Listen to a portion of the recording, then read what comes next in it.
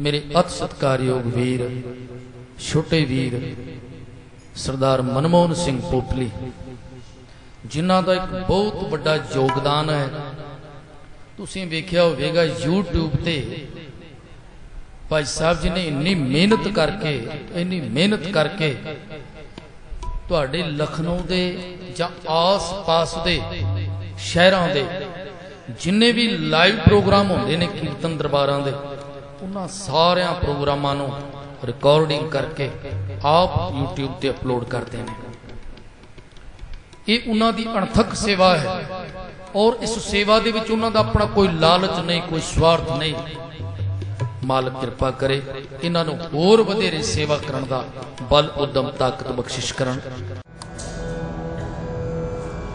ਮੇਰੀ ਮਤਵਾਰੀ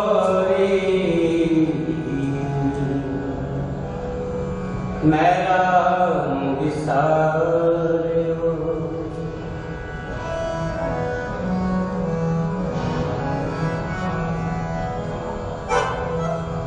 ਮੇਰੀ ਮਤਵਾਰੀ